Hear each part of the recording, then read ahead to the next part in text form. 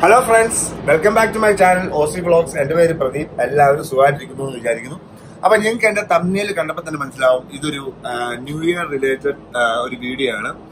New year related video എന്ന് പറഞ്ഞാലും നമുക്ക് ഇവിടുത്തെ ന്യൂ ഇയറിന്റെ ആഘോഷങ്ങൾ അല്ലെങ്കിൽ ഇവിടുത്തെ പടക്കം പൊട്ടി ഫയർ വർക്ക്സ് ഒക്കെ നമുക്ക് അതേപടി ഒപ്പിയെടുക്കാൻ പറ്റുമോ ഞാൻ നൂറ് ശതമാനം ഞാൻ ഇപ്പോൾ ഉറപ്പ് പറയുന്നില്ല. കാര്യം ഇവിടെ ഇപ്പൊ സമയം വൈകുന്നേരം അഞ്ചു മണി ആയതേ ഉള്ളൂ. ഇനിയും ആറ് മണിക്കൂറും കൂടി ഉണ്ട്. അഞ്ചു ആറും. സോറി ഏഴ് മണിക്കൂറും കൂടി ഉണ്ട്. ന്യൂ ഇയർ പൊട്ടി വിടരാൻ വേണ്ടിയിട്ട്. എനിക്ക് എന്താ കുഴപ്പമെന്ന് വെച്ച് കഴിഞ്ഞാൽ ഇനിയിപ്പോ കാണാവുന്ന പോലെ തന്നെ ഞാനിപ്പം ജോലിയിലാണ്. എനിക്ക് വൈകിട്ട് പതിനൊന്നര വരെയാണ് ജോലി. അപ്പൊ അതിനുശേഷം ജോലിയെല്ലാം കഴിഞ്ഞ് നമ്മൾ ഓടി വീഴുന്ന സിറ്റിയിൽ വന്നാൽ മാത്രമേ നമുക്ക് ഈ ഫയർ വർക്സിന്റെ ഒക്കെ വീഡിയോ ഷൂട്ട് ചെയ്യാൻ പറ്റത്തുള്ളൂ. പക്ഷെ അതിന് മുമ്പായിട്ട് ഞാൻ കുറച്ച് സമയങ്ങളിലായിട്ട് ഞാൻ സിറ്റിയും അതിന്റെ പ്രാന്ത പ്രദേശങ്ങളിലൂടെ പോകുന്നുണ്ട്. അപ്പൊ അതെല്ലാം ഞാൻ നിങ്ങളെ കാണിക്കാൻ വേണ്ടി വീഡിയോയിൽ പകർത്താമെന്ന് വിചാരിക്കുന്നു.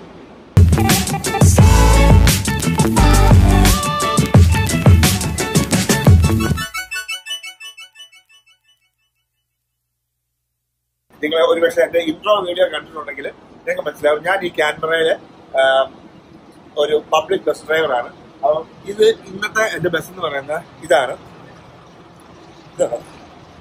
അതുപോലെ ഇപ്പൊ ഞാൻ നിർത്തിയിരിക്കുന്നത് ഞങ്ങളുടെ സിറ്റിയിലെ ഒരു ബസ്സൊക്കെ പാർക്ക് ചെയ്യുന്ന ഒരു ഇന്റർചേഞ്ച് എന്ന് പറയാൻ പറ്റത്തില്ല. ബസ്സൊക്കെ പാർക്ക് ചെയ്യുന്ന ഒരു സ്റ്റാൻഡ് പോലെ സ്ഥലത്താണ്. അപ്പം ഈ നീല ബസ്സാണ് എന്റെ വണ്ടി. ഈ മുന്നിലും പുറയിലൊക്കെ ആയിട്ട് വേറെ വണ്ടികളുണ്ട്. അപ്പം ഫ്രണ്ട്സ് ഇതിപ്പോ നമ്മൾ സിറ്റിയിൽ നിന്ന് വണ്ടി എടുത്ത് ഏകദേശം ഒരു ഒരു മണിക്കൂർ ഡ്രൈവ് ചെയ്ത് ഇത് ടഗർണോങ് എന്ന് പറയുന്ന ഒരു സിറ്റിയാണ് ടഗർണോങ് എന്ന് പറയുന്ന സ്ഥലത്തെ ബസ് സ്റ്റാൻഡിലാണ് നമ്മൾ വന്നിരിക്കുന്നത് ഇനിയുമുണ്ട് ആ, ഒരു അഞ്ചര മണിക്കൂറും കൂടെ പന്ത്രണ്ട് മണിയാൻ ഫയർ വർക്സിന് വേണ്ടിയിട്ടൊക്കെ. അപ്പൊ ഏതായാലും ഈ സമയമുണ്ട്. എനിക്കിപ്പോ ഒരു പത്ത് മിനിറ്റ് ബ്രേക്ക് ഉണ്ട്. അപ്പൊ ഞാൻ ഓർത്തു ഞാൻ ഏതായാലും എന്റെ ബസ് ഒന്ന് പരിചയപ്പെടുത്താം. ഇതാണ് നമ്മുടെ ബസ് ഇത് സ്കാനിയയുടെ ബസ്സാണ് അതുപോലെ തന്നെ ഇതൊരു ഗവൺമെന്റ് ബസ്സാണ് A C T government government ബസ്സാണ് അതായത് ഈസി ആയിട്ട് പറയുവാണെങ്കിൽ നമ്മുടെ നാട്ടിലെ K S R T C പോലെ തന്നെ ഞാൻ ഇവിടുത്തെ ഒരു K S R T C ഉദ്യോഗസ്ഥനാണ് K S R T C ഡ്രൈവറാണ്. ഇവിടുത്തെ K S R T C തുറന്ന് ഇവിടുത്തെ കമ്പനിയുടെ പേര് ട്രാൻസ്പോർട്ട് ക്യാൻപർ ഏകദേശം നാനൂറിന് മുകളിൽ ബസ്സുകളും അറുന്നൂറ്റി അമ്പതോളം ഡ്രൈവർമാരും പിന്നെ ബാക്കിയുള്ള വേറെ മാനേജ്മെന്റ് പോസ്റ്റ് അങ്ങനെയുള്ള ഏകദേശം ഒരു പത്ത് എഴുന്നൂറോളം സ്റ്റാഫുള്ള വലിയൊരു കമ്പനിയാണ്. ഈ കിടക്കുന്ന ഒരു എം എ എൻ ഫസ്റ്റ് കിടക്കുന്ന ബസ് എം എ എൻ മാന്റെ ബസ്സാണ് അതിന്റെ അപ്പുറം കിടക്കുന്നതെല്ലാം രണ്ട് മാനും ബാക്കിയുള്ളതെല്ലാം സ്കാനിയാണ് ആ കിടക്കുന്ന ആദ്യത്തെ ബസ് പഴയ ഒരു സ്കാനിയയുടെ ഗ്യാസ് ബസ്സാണ് ഇതാണ് നമ്മുടെ ബസ്സിന്റെ ഫ്രണ്ട് വശം. ഇതൊരു ബ്രാൻഡ് ന്യൂ ബസ് എന്ന് വേണേൽ പറയാം. അതായത് ഏകദേശം ഒരു ആറ് ഏഴ് മാസത്തോളം ഉള്ളൂ ഇങ്ങനെയാണ് നമ്മൾ ഡോർ തുറക്കുന്നത്.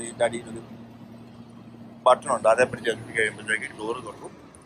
ഇതിനകത്തോട്ട് അങ്ങോട്ട് കയറി കഴിയുമ്പോൾ നല്ല ടെമ്പറേച്ചറാണ് ഇതിനകത്ത്. ഇത് ക്ലൈമറ്റ് കൺട്രോൾഡ് ആണ്. എപ്പോഴും ഇതിനകത്ത് ഒരു ട്വന്റി ഡിഗ്രി സെൽഷ്യസ് ആണ് ഇതിനകത്ത്. ടെമ്പറേച്ചർ ഡോർ അടച്ചു. അപ്പം ഇതാണ് എന്റെ ഓഫീസ് മുറി. Uh, uh, uh. ഇത് റേഡിയോ ആണ്. ഇത് നമുക്ക് റേഡിയോയുടെ മൈക്രോഫോൺ ആണ്. അപ്പൊ ഇതിനകത്തൂടെ ഇതിപ്പം ഇപ്പൊ ഒരു അനൗൺസ്മെന്റ് വന്നുകൊണ്ടിരിക്കുവാണ് ബേസ് വണ്ണിൽ നിന്ന് ഒരു അനൗൺസ്മെന്റ് വന്നിരിക്കും ഞാനിപ്പോ ബ്രേക്ക് ടൈം ആയതുകൊണ്ട് ഇപ്പൊ നമ്മളെ ബാധിക്കുന്ന കാര്യമില്ല. അപ്പൊ നമ്മൾ എന്ത് എന്തുണ്ടെങ്കിലും നമുക്ക് ഇതിനകത്തൂടെ അനൗൺസ്മെന്റ് വരും. പിന്നെ നമുക്ക് എന്ത് പ്രശ്നമുണ്ടെങ്കിൽ നമ്മൾ ഇതിനകത്തൂടെയാണ് നമ്മൾ ബേസിനെ അറിയിക്കുന്നത്.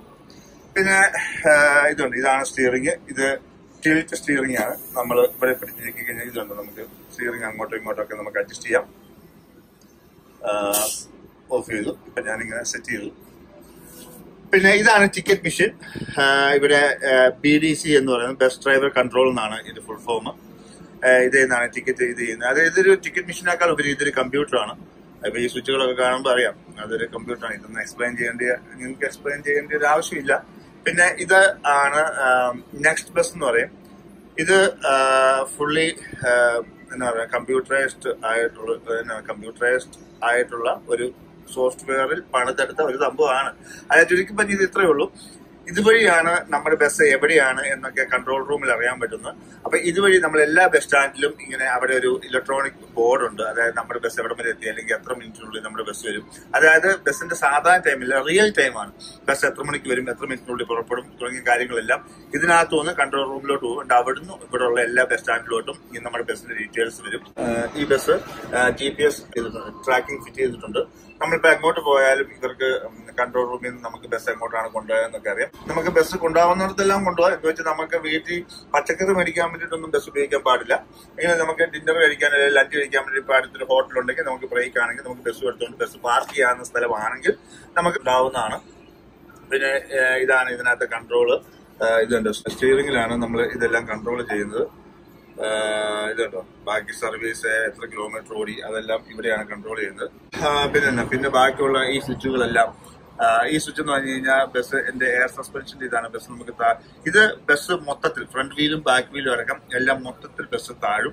ഇതാണെങ്കിൽ നമുക്ക് ലോ ഫ്ലോർ ബസ് പറയുന്ന പോലെ നമുക്ക് ഫ്രണ്ടിലത്തെ ഡോർ ഫ്രണ്ടിലത്തെ സൈഡ് മാത്രം ഇങ്ങനെ താഴും. അപ്പം ആൾക്കാർക്ക് കയറാനും ഇറങ്ങാനും എളുപ്പമുണ്ട്. ഇത് കൂടുതലും നമുക്ക് സ്കാനിയ ബസ്സിൽ കൂടുതലും നമുക്ക് കമ്പയർ ചെയ്യാൻ പറ്റുന്നത് നമ്മുടെ നാട്ടിലെ സിറ്റി കൂടി ഓടുന്ന ലോ ഫ്ലോർ ബസ്സുകളെയാണ് കൂടുതൽ കമ്പയർ ചെയ്യാൻ പറ്റുന്നത്.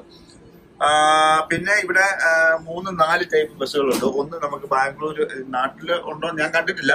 ബാംഗ്ലൂർ ഞാൻ കണ്ടിട്ടുണ്ട്. അതായത് രണ്ട് ബസ് കൂടിയ ട്രെയിൻ പോലത്തെ ബസ് അങ്ങനത്തെ ബസ്സുകളുണ്ട്. പിന്നെ ഗ്യാസ് ബസ്സുണ്ട്. പിന്നെ ഇലക്ട്രിക് ബസ് ഉണ്ട്. ഇലക്ട്രിക് ബസ്സൊക്കെ മാരക ബസ്സാണ് അത് കാഴ്ചയിൽ തന്നെ നല്ല അടിപൊളിയാണ്. ഇതിപ്പോ നമുക്ക് ഡിപ്പോയിലായിരുന്നെങ്കിൽ അതൊക്കെ കാണിക്കായിരുന്നു. ഇപ്പൊ ഞാൻ പിന്നെ ഇതൊരു ഓട്ടോമാറ്റിക് ബസ്സാണ് അതാണ് ആ കാണുന്നതാണ് ഹാൻഡ് ബ്രേക്ക് അവിടെ എല്ലാം ഡോറിന്റെ ഇത് സംഭവങ്ങൾ പിന്നെ നമുക്ക് റേഡിയോ സംഭവങ്ങളൊക്കെ ഇവിടെ ഉണ്ട്. പിന്നെ നമുക്ക് യു എസ് ബി നമുക്ക് നമ്മുടെ യു എസ് എടുത്തുകൊണ്ട് വരുവാണെന്നുണ്ടെങ്കിൽ നമുക്ക് നമ്മുടെ പാട്ടൊക്കെ കേൾക്കാം. കുഴപ്പമൊന്നുമില്ല. പിന്നെ ഇതാണ് കോയിൻ ഡിസ്പെൻസർ ഇവിടെയാണ് നമുക്ക് പൈസ കിട്ടുന്ന കോയിൻസ് ബാക്കി കൊടുക്കേണ്ടതൊക്കെ പൈസ ഇവിടെയാണ് പിന്നെ യാത്രക്കാർക്ക് മൈവേ കാർഡ് എന്ന സാധനം എടുക്കുവാണെങ്കിൽ ഇത് ചീപ്പാണ് കാർ ടാപ്പ് ചെയ്ത് നമുക്ക് യാത്ര ചെയ്യാം. ഇത് നമുക്ക് ഈ കാർ ഇതുപോലത്തെ ഈ കാർഡ് മൈവേ എന്ന് പറഞ്ഞ കാർഡ് റീചാർജ് ചെയ്താൽ മതി. അതല്ല എങ്കിൽ ഇതുപോലെ കാർഡ് ഇല്ലെങ്കിൽ നമുക്ക് പൈസയായിട്ട് നമുക്ക് പേ ചെയ്യാം. പിന്നെ ഇതാണ് ബസ്സിന്റെ ഇന്റീരിയർ അടിപൊളി ബസ്സാണ് ഞാൻ ഈ പറഞ്ഞ പോലെ തന്നെ ബ്രാൻഡ് ന്യൂ ബസ് ആയതുകൊണ്ട് അതിന്റെ ആ ഒരു പുതിയ കാർ മേടിക്കുമ്പോൾ ആ ഒരു പുത്തമണം. ആ പുത്തമണം എന്ന് പറഞ്ഞാൽ ഈ ബസ്സിനുകൊണ്ട് ഇങ്ങനത്തെ ഒരു പുത്തമണം പിന്നെ ഇതൊക്കെയാണ് സ്റ്റോപ്പ് ബട്ടൺ നമുക്ക് സ്റ്റോപ്പ് ചെയ്യാൻ വേണ്ടി നിൽക്കുന്ന ഇതാണ്. പിന്നെ ഈ ബസ്സിനകത്ത് ഇതെല്ലാം ക്യാമറ ലൈവ് ക്യാമറയാണ് ഇത് ക്യാമറയാണ് പിന്നെ ഇങ്ങോട്ട് വരുമ്പോൾ ഇത് രണ്ടാമത്തെ ക്യാമറ ഇത് മൂന്നാമത്തെ ക്യാമറ എനിക്ക് മൊത്തം ആറ് ഏഴ് ക്യാമറയുണ്ട് പിന്നെ വരുമ്പം ആ കാണുന്ന ഒരു ക്യാമറയാണ് ആ കാണുന്ന ക്യാ- ആറ് ക്യാമറയാണ് തോന്നുന്നു ഈ ബസ്സിൽ. പല ബസ്സിൽ പല ഏഴ് എട്ടാം ക്യാമറ വരെയുള്ള ബസ്സുകളുണ്ട്. ഇതിൽ ആറ് ആറ് ക്യാമറയാണുള്ളത് അതാണ് എമർജൻസി എക്സിറ്റ് എമർജൻസി ഇപ്പൊ തീ വല്ലതും പിടിക്കുവാണെങ്കിൽ അതിന്റെ മുകളിൽ തന്നെ ഒരു ചുറ്റിയ പോലത്തെ സാധനമുണ്ട്. ആ ഹാമർ നമ്മൾ വലിച്ചെടുത്ത് ഇത് പൊട്ടിച്ചാണ് നമ്മൾ പുറത്ത് ചാടുന്നത്. അങ്ങനെയൊന്നും വരാതിരിക്കട്ടെ. ഇവിടെയുണ്ട് ഒരു എമർജൻസി എക്സിറ്റ് അപ്പം അതൊക്കെയാണ് ഈ ബസ്സിനകത്ത് ചെറിയൊരു ഇത്. ഈ ബസ് ഇരുപത്തിരണ്ടായിരം ട്വന്റി ടു തൗസൻഡ് കിലോമീറ്റേഴ്സ് മാത്രമേ ഓടിയിട്ടുള്ളൂ. ഇരുപത്തിരണ്ടല്ല ഇരുപത്തി മൂവായിരത്തി അഞ്ഞൂറ്റി മുപ്പത്തി ഏഴ് കിലോമീറ്റർ ആണ് ഇത് ഓടിയിരിക്കുന്നത്. അപ്പൊ ഒരു മൂന്ന് മാസം കാണാം അപ്പൊ ഇതൊക്കെയാണ് നമ്മുടെ ബസ്സിന്റെ വിശേഷങ്ങൾ. അപ്പൊ ഫ്രണ്ട്സ് ഞാൻ കുറച്ച് മുമ്പ് പറഞ്ഞ പോലെ തന്നെ എനിക്ക് ബ്രേക്കാണ്. അപ്പം ബ്രേക്കിന്റെ സമയത്ത് ഞാൻ ഇന്ന് ഡിന്നർ ഒന്നും കൊണ്ടുവന്നിട്ടില്ലായിരുന്നു. ഡിന്നർ ഒന്നും കൊണ്ടുവരാത്തത് കൊണ്ട് ഞാൻ ഇവിടെ ബസ്സും എടുത്തുകൊണ്ട് ഇവിടെ അടുത്ത് ഒരു ഫുഡ് കോർട്ട് പോലത്തെ ഒരു സംഭവമുണ്ട്. അവിടെ വരെ വന്നാണ്. അപ്പോൾ ഇതൊരു ചൈനീസ് ഡിഷ് ബോക്കിറ്റപ്പ് എന്ന് പറയുന്നത് ഒരു ന്യൂഡിൽ ഡിഷാണ്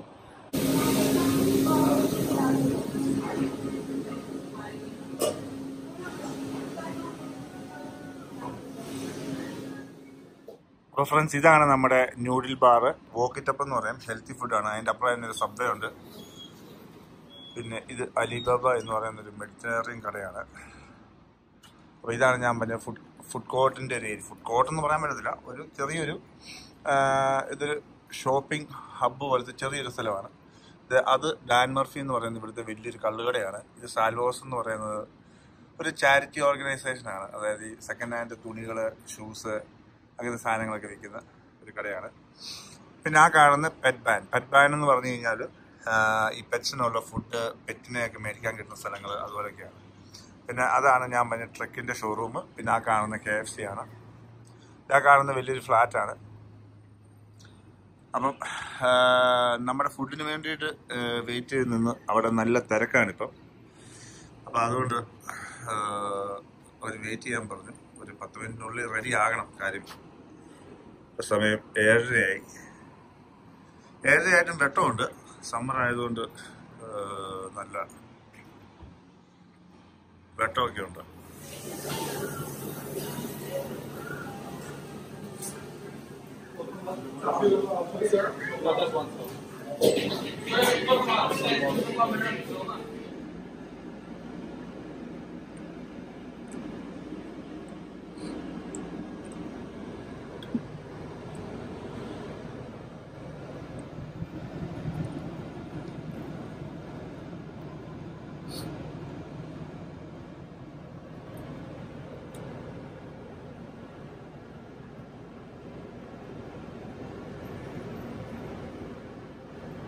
ഡിന്നറൊക്കെ കഴിഞ്ഞു. സമാധാനമായി. കുഴപ്പമൊന്നുമില്ല. അപ്പം ഡിന്നറും കഴിഞ്ഞ് ബ്രേക്കും കഴിഞ്ഞ് എന്റെ ഫസ്റ്റ് ഓട്ടം തീർന്നു. അതായത് ഫസ്റ്റ് റണ്ണ് കഴിഞ്ഞു. സിറ്റി കഴിഞ്ഞ് ഡിക്സൺ എന്ന് പറയുന്ന ഒരു സ്ഥലത്തോട്ടായിരുന്നു. ഇല്ലെങ്കിൽ ഇവിടെ എനിക്കൊരു ഇരുപത് മിനിറ്റ് ബ്രേക്ക് ഉണ്ട് നിങ്ങൾക്ക് കാണാം. ബസ്സിന്റെ പുറകെ എഴുതിയിട്ടുണ്ട് ഡിക്സൺ. എന്നിട്ട് ആ റൂട്ടിന്റെ നമ്പർ നമ്പർ വൺ ആണ്. അതൊരു അതിന്റെ സ്റ്റാർട്ടിംഗ് പോയിന്റിൽ നിന്ന് ഈ ഡിക്സൺ ഇതിന്റെ എൻഡ് പോയിന്റ് വരെ. എക്സാക്ട് ആയിട്ട് പറയുകയാണെങ്കിൽ കറക്റ്റ് ഒരു മണിക്കൂറാണ്. ഇനിയും ഒരു മൂന്ന് മണിക്കൂറും കൂടി ഉണ്ട് നമ്മുടെ ന്യൂ ഇയറിന് വേണ്ടിയിട്ട്. ജനുവരി ഒന്നാകാൻ നമ്മുടെ വെടിക്കെട്ടിന് വേണ്ടിയിട്ട്. അതുപോലെ തന്നെ എന്റെ പുറകിൽ കാണുന്ന ആ ഇലക്ട്രോണിക് ബോർഡ് കണ്ടോ? അതാണ് ഞാൻ നിങ്ങളോട് പറഞ്ഞത്. ബസ്സിനകത്തുള്ള ആ നെക്സ്റ്റ് ബസ്സിനകത്തു നിന്ന് അതാണ് നമ്മുടെ കറണ്ട് ലൈവ് ടൈമിങ് ബസ് ഏതൊക്കെയാണ് ഇതാ അത് അവിടെ എല്ലാ ബസ് സ്റ്റോപ്പിലും എഴുതി കാണിക്കും. ഇതിപ്പോൾ ഞാൻ പറഞ്ഞ ഡിക്സണിലെ ഒരു ചെറിയ ഒരു ഇത് ഇവിടെയും ഒരു ടെർമിനലുണ്ട് പിന്നെ അങ്ങേ ഒരു ടെർമിനലുണ്ട്. അപ്പൊ ഡിക്സൺ എന്ന് പറയുന്നത് സിറ്റിയോട് ചേർന്ന് കിടക്കുന്ന ഒരു ചെറിയൊരു ടൗൺ ആണ്.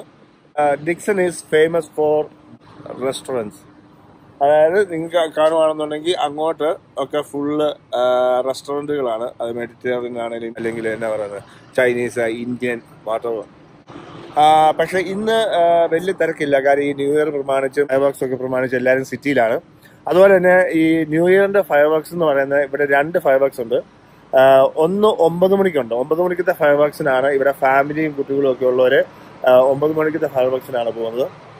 പിന്നെ ഉള്ളത് പന്ത്രണ്ട് മണിക്കത്തെ ഫയർ വർക്സ് അതിനാണ് നമ്മൾ പോകുന്നത്.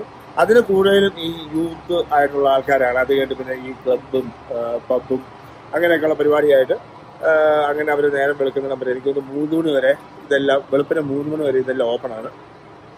ട്രാൻസ്പോർട്ട് ക്യാൻബറ എന്ന് പറയുന്ന ബസ്സും ട്രെയിനും ഇവിടുത്തെ മെട്രോയും അപ്പൊ മെട്രോയുടെ ഇന്റർവ്യൂ ഒക്കെ നടക്കുന്ന ആ ബോട്ട്സോ എന്ന് പറയുന്ന ആ ബിൽഡിങ്ങിലായിരുന്നു അപ്പം ഇനി അടുത്ത എന്തെങ്കിലും ഇൻട്രസ്റ്റിംഗ് ആയിട്ട് വരുവാണെന്നുണ്ടെങ്കിൽ ഞാൻ വീണ്ടും വീഡിയോ ഓൺ ചെയ്യും. അപ്പൊ ഫ്രണ്ട്സ് വണ്ടിയൊക്കെ പാർക്ക് ചെയ്തു.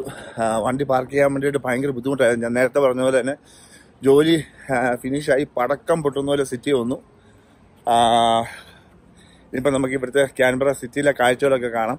ഒരു ടെൻഷൻ എന്താണെന്ന് വെച്ച് കഴിഞ്ഞാൽ പാർക്കിംഗ് ഒന്നും ഇല്ലാത്തതുകൊണ്ട് ഞാനൊരു കെർബിന്റെ മണ്ടയ്ക്ക് കയറ്റിയിട്ടിരിക്കുവാണ് തിരിച്ചു വരുമ്പോൾ അറിയാൻ വല്ലോ ഫൈൻ വല്ലതും ഉണ്ടാവുമല്ലോ എന്ന് തിരിച്ചു വരുമ്പോൾ അറിയാം. ഏതായാലും നമ്മളിപ്പം അതിനെക്കുറിച്ച് ആലോചിച്ചുകൊണ്ടിരുന്ന് കഴിഞ്ഞ് കഴിഞ്ഞാൽ നമ്മുടെ ന്യൂ ഇയർ കുളമാവും. ഏതായാലും തിരിച്ചു വരുമ്പം നമുക്ക് അതിനെക്കുറിച്ച് ചിന്തിക്കാം. അപ്പോൾ ഇപ്പം ഞാൻ ക്യാൻബ്ര സിറ്റിയിലാണ്. ക്യാൻബ്ര സിറ്റിയുടെ കാഴ്ചകളാണ് ഈ കാണുന്നതെല്ലാം. നമ്മളിപ്പം ഇവിടെ ന്യൂ ഇയർ പ്രമാണിച്ച് സിറ്റി വാക്ക് അത് തന്നെ സിറ്റി വാക്ക് എന്ന് വേണമെങ്കിൽ പറയാം. അതായത് വണ്ടി പോകത്തില്ല അതിനകത്ത് ഫുള്ള് കടകളും സംഭവങ്ങളൊക്കെയാണ്.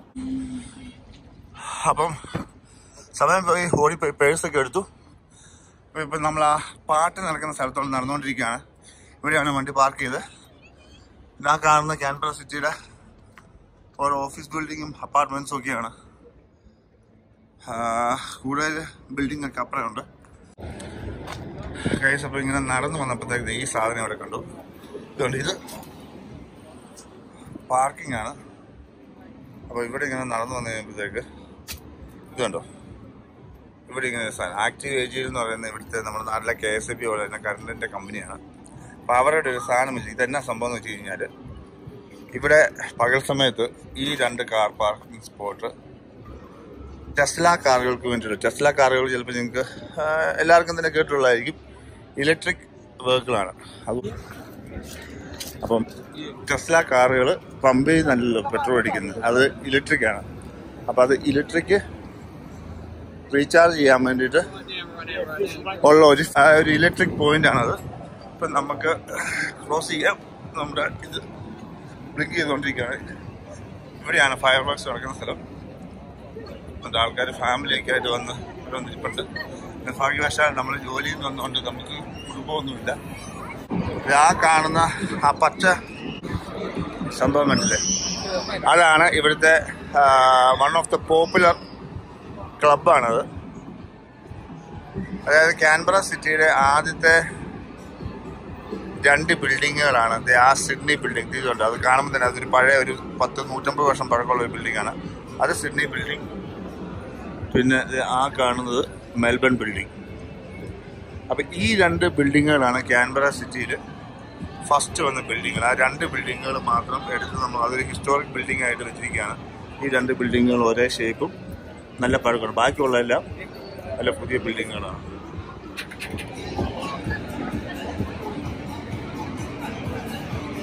അതായത് ഈ കിടക്കുന്നതാണ് ഇവിടുത്തെ പോലീസ് കാറുകൾ. ഇത് ഹോൾഡൺ എന്ന് പറയുന്ന ഒരു കമ്പനി ഓസ്ട്രേലിയൻ കമ്പനിയാണ് വി എയ്റ്റ് എഞ്ചിനാണ് നല്ല പവർ പവർഫുൾ കാറാണ് ഇത് സൈഡിലൊക്കെ ഇരിക്കുന്ന റഡാറാണ് നമ്മളിപ്പോൾ രജിസ്ട്രേഷൻ അടച്ചിട്ടില്ലെങ്കിലോ രജിസ്ട്രേഷൻ ഇൻഷുറൻസ് ഒന്നും ഇല്ലെന്നുണ്ടെങ്കിൽ ഈ സാധനം ഈ റഡാർ വെച്ച് അവർക്ക് ഇത്ര കിലോമീറ്റർ ചുറ്റളവിൽ നമ്മളെ പിടിക്കാൻ പറ്റും. ഇതെല്ലാം വി എയ്റ്റ് കാറുകളാണ്. ഇത് ബി എം ഡബ്ല്യുവിന്റെ പോലീസ് മോട്ടോർ സൈക്കിൾ ജാങ്കോ സാധനമാണ് സാർ. ആ കുറച്ച് മുമ്പ് ഞാൻ പറഞ്ഞ പബ്ബ് അവിടെയാണ്. ഇതാണ് നമ്മുടെ സിറ്റി ബസ് സ്റ്റേഷൻ. ബസ് ഓടുന്നുണ്ട്. അവിടെ പോലീസുകാർ ആരാണ്ടെയൊക്കെ പിടിച്ച് കൂമ്പിലിരിക്കുന്നുണ്ട് ഇതൊക്കെ രസമല്ലേ? അപ്പം നമുക്ക് ഇതുണ്ടോ? നല്ല തിരക്കാണ്. രാത്രി പന്ത്രണ്ട് മണിയോടെ എടുക്കുന്നു. ഞാൻ പറഞ്ഞു ഇതാണ് ബസ് സ്റ്റാൻഡ്. അവിടെ നിന്നൊരു ബസ് വരുന്നുണ്ട്. ബസ്സിലൊക്കെ ഈ സിറ്റിയിലോട്ട് വരാൻ വേണ്ടി ഭയങ്കര തിരക്കായിരിക്കും. ഇപ്പം നമുക്ക് ബാക്കിയുള്ള കാഴ്ചകളിലോട്ടൊക്കെ പോവാം.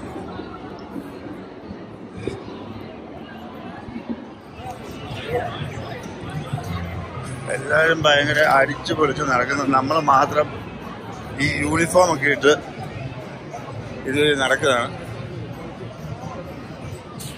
ഹാ.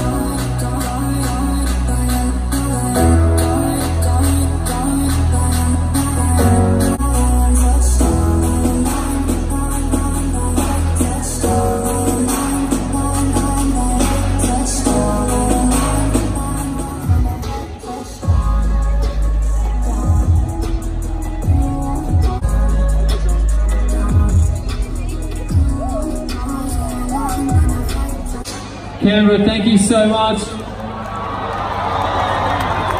My name is Paces. I'm wishing you a very, very happy new year. But before I get out of here, do you mind if we get a family photo? All right. Okay, Cameron.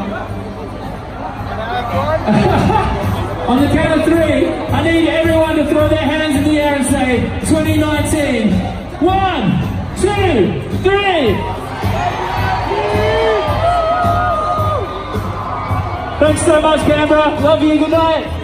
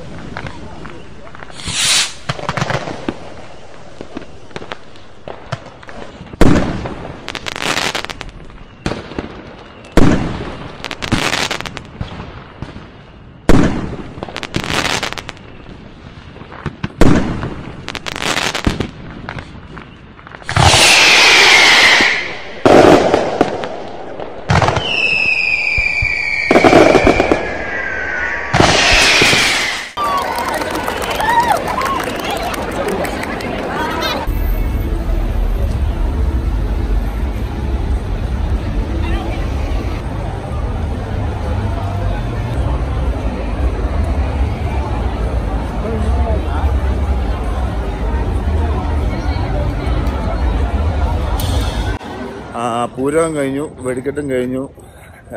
Family ആയിട്ടുള്ളവരെല്ലാം വീട്ടിൽ പോയിക്കൊണ്ടിരിക്കുകയാണ്.